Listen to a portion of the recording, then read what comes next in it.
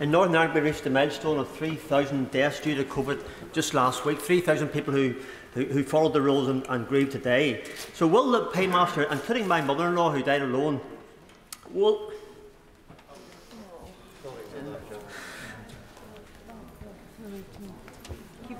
Will, will the Paymaster General confirm that there will be a full and complete disclosure to enable the police service to ascertain that all was done decently and within the regulations at the date and at that time? I'm sorry, Mr. Speaker.